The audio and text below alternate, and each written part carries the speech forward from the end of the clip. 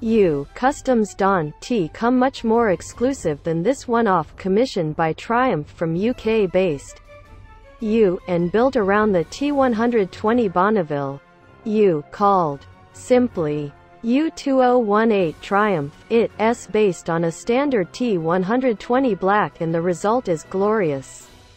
From the one-off, underslung, open pipes, hand-formed, leather side panels, 1960s tank. Clean and uncluttered handlebars. There s no switchgear, mirrors, indicators or even clocks. To the exquisite paint. Everything about it reeks class and quality. And the idea is for it to inspire buyers to create their own specials, ideally around Triumph S. Ever expanding accessories range. As such you LL be able to admire it on Triumph S stand at Motorcycle Live at the NEC. XA0 U Alec Sharp OEM S founder told MCN they had no specific brief but that the idea was to apply a Steve McQueen ISDT on any Sunday type off-road style, but without compromising practicality too much. So, Although minimalist, it qualifies for a daytime Mo.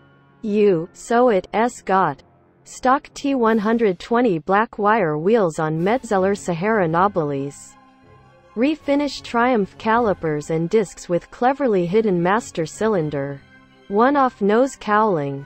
Renthal fat bars with OEM S own switchless levers one-off tank remodeled from a 1960s T120 item with OEM S machined. Screw-in filler cap. Standard T120 engine but with U2018 OEM name plates and one-off. AC Cobra inspired open twin stainless pipes.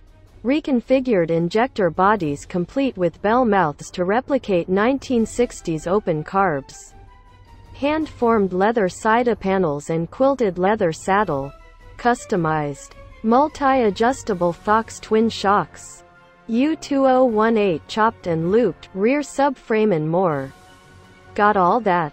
Few. U, but although, admittedly, conceived mostly for form rather than function and built primarily for show.